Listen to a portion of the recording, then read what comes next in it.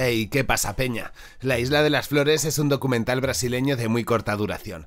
Apenas son 15 minutos en los que se rastrea el camino de un tomate desde su producción hasta que finalmente es consumido. El tema es que la hortaliza hace un viaje muy poco habitual. Su ruta no termina en la mesa de una familia, sino que continúa hacia la basura hasta llegar a la Isla de las Flores, donde finalmente se le encontrará un destino, convirtiéndose en la alimentación de los más desfavorecidos. A través de un simple producto de primera necesidad se hace un repaso a la cadena de suministros, al ciclo económico, a la condición humana, a la desigualdad estructural y de paso a la manera en la que entendemos el conocimiento. En el vídeo de hoy vamos a analizar estas claves que el director brasileño Jorge Furtado desarrolla en su trabajo. La obra es de 1989, que tal vez os puede resultar un periodo muy lejano. Por desgracia, la cinta sigue siendo de rabiosa actualidad, demostrando que en este tiempo no hemos cambiado demasiado. Mm, posiblemente puede que se haya agudizado más la situación. La historia arranca situándonos en el mapa latitud 30 grados, 12 minutos y 30 segundos sur, y longitud de 51 grados, 11 minutos y 23 segundos oeste, es decir, nos coloca en Belén Novo, Porto Alegre. Esta manera de presentar la obra tan precisa y academicista es algo que utilizará el narrador para poder contarnos por qué son así las cosas. Su estilo no pasa desapercibido, incluso en ocasiones se vuelve algo sobreexplicativo. Mm, al punto de que después de ubicarnos en el espacio nos presenta a un ser humano, más en concreto a un japonés, algo que cualquiera sabe lo que es. Así nos muestra cuáles son sus características físicas, sus rasgos y qué le distingue del resto de razas. A continuación hace lo mismo para definir qué es un ser humano. Según el docu, a esta especie la caracteriza tener un pulgar oponible y el telencéfalo altamente desarrollado, señalando que eso es lo que separa al humano del resto del reino animal. Realmente la definición que da es vaga, pero ¿cuál acaso no lo es? El trabajo no solo es muy crítico por lo que cuenta, sino por cómo lo hace. La Isla de las Flores realiza un ataque directo a la ilustración y al pensamiento ilustrado que nos educó para que entendiésemos el mundo de un modo muy limitado. Las definiciones solo encapsulan ideas dejándose fuera casi tanto como lo que las propias definiciones dicen. Mm, voy a aclarar esto un poco poniendo un ejemplo. Mirad, ¿qué es una puerta? ¿Alguien puede definirla sin dejar fuera al 90% de las puertas? Porque si alguien dice que es de madera, habrá otro que diga que es de cristal, de metal, unos que es corredera, otros que es de girar con picaporte, sin él, o nada de lo anterior y entender como puerta un agujero que permite la entrada a una cueva. La obsesión por ese modo de parcelar el conocimiento y la sabiduría surge en el siglo XIX al calor de la Ilustración. La enciclopedia, que es el documento donde se guardó el conocimiento con esta fórmula delimitadora, se publicó entre los años 1751 y 1772, fortaleciendo así la hipótesis de que el pensamiento ilustrado es el que nos hace conceptualizar la realidad de esta manera. Vamos, que quien controla Wikipedia controla el pasado. Si os fijáis, prácticamente todas las disciplinas académicas pertenecen a esa época, al siglo XIX.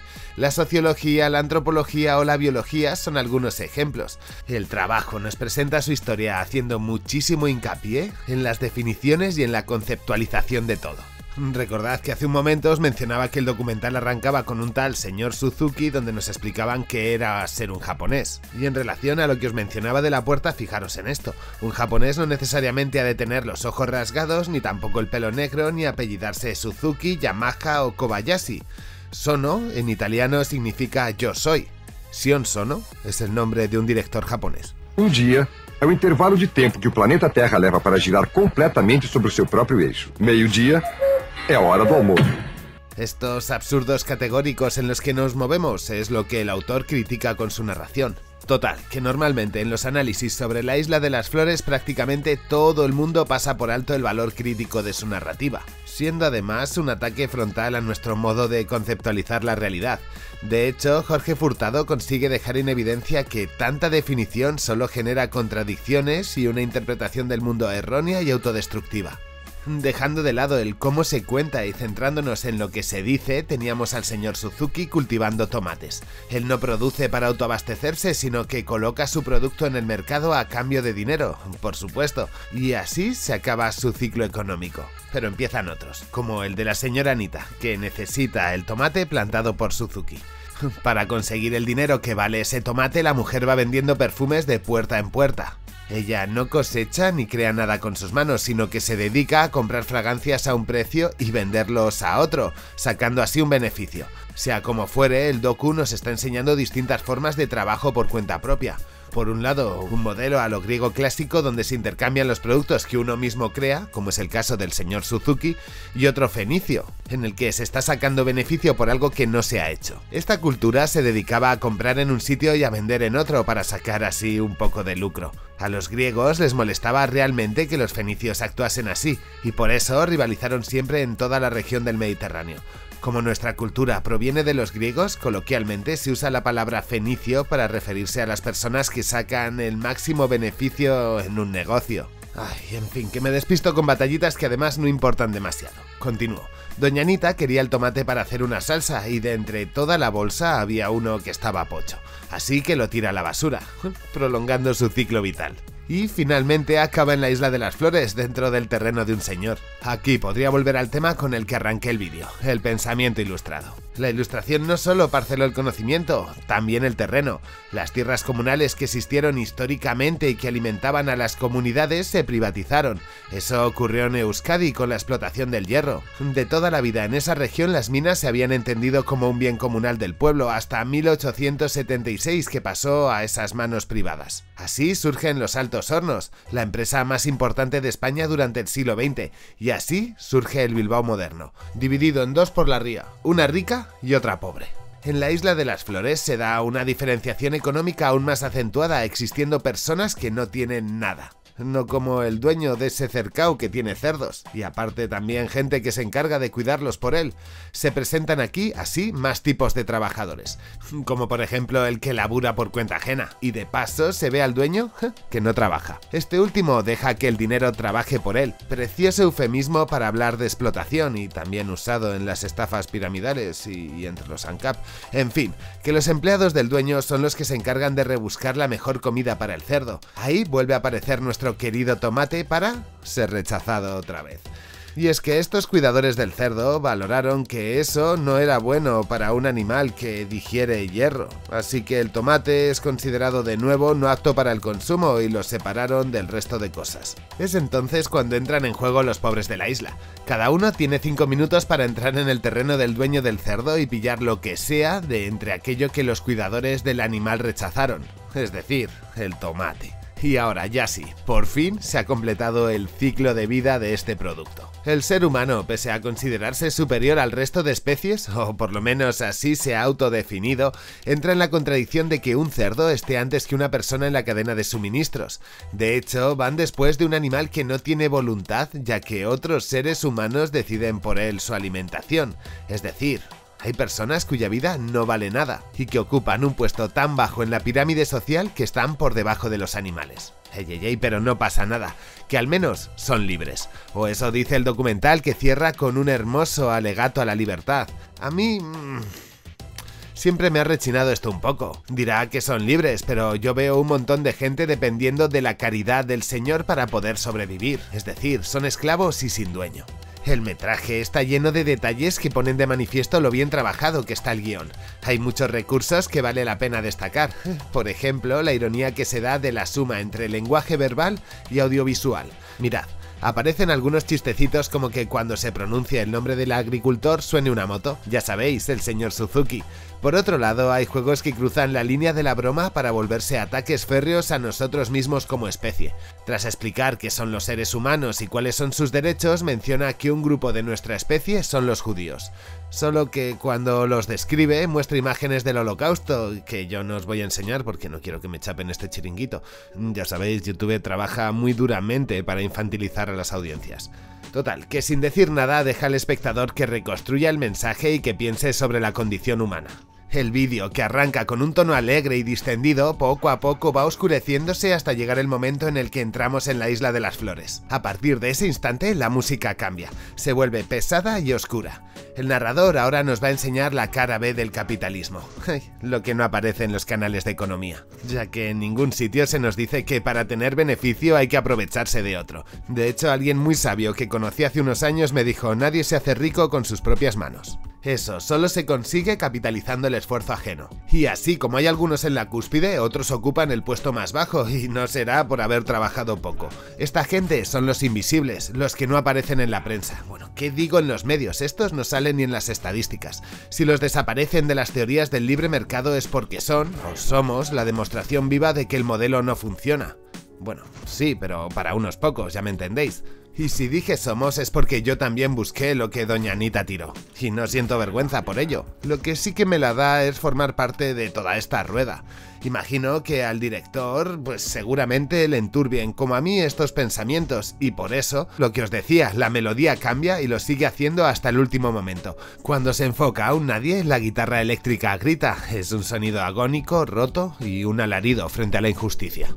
Una de las cosas que más me llamó la atención de este proyecto es por supuesto su lectura económica, aunque sentí cierta imprecisión a la hora de tratar la historia de la economía.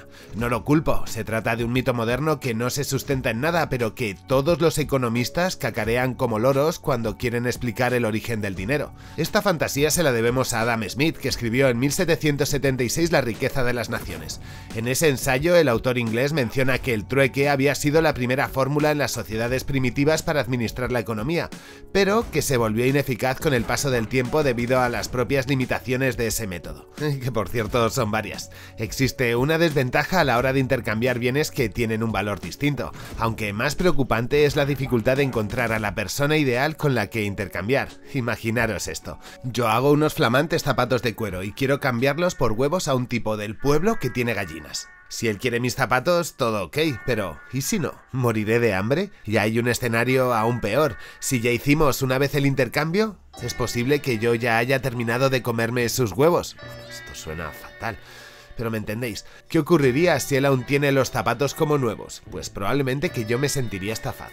Teniendo el trueque como modelo principal para administrar la economía, nos encontramos con que los miembros de la comunidad para intercambiar necesitarían hacer una auténtica gincana. El de los huevos no quiere zapatos, pero tal vez sí fruta, así que tendría que ir con mis zapatos al fruntero y ver si así rasco algo y vamos, un rollo. Si lo pensáis un poco, el trueque no solo es tedioso e ineficaz, sino que genera un montón de rencillas. Y es que resulta que cambié mis zapatos por unos huevos que me han durado 15 días, mientras que su calzado lo tendrá durante años. Envidia, sensación de engaño y, en definitiva, una forma de relacionarnos que erosiona directamente el tejido social. Con esto no estoy renegando del trueque ni sacándolo de la ecuación histórica. Por supuesto, el trueque ha existido desde tiempos muy antiguos además como forma de intercambio, solo que entre rivales o con extranjeros, nunca entre miembros de una misma comunidad.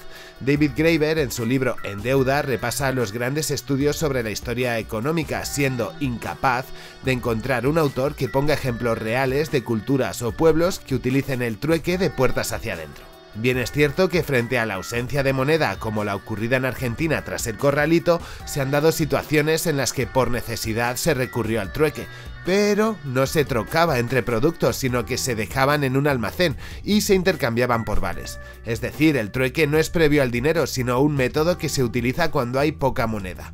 Que no tengamos registro histórico ni actual de culturas que trocaban entre sus miembros, y ejemplos como este argentino donde realmente no se trueca, sino que se intercambian los bienes por vales, deja entrever que el trueque y el modelo monetario siempre van de la mano. Es más, me atrevo a decir que el trueque es simplemente otra fórmula más de sistema monetario. Entonces, si este no fue el primer mecanismo económico que implementamos como sociedad compleja, ¿cuál fue? Bueno, si seguimos con el ejemplo de Graeber y si lo mezclamos con lo que yo ya había puesto, imaginaros esto, tengo unos zapatos y otro tiene huevos. Según este antropólogo, la conversación sería tal que así.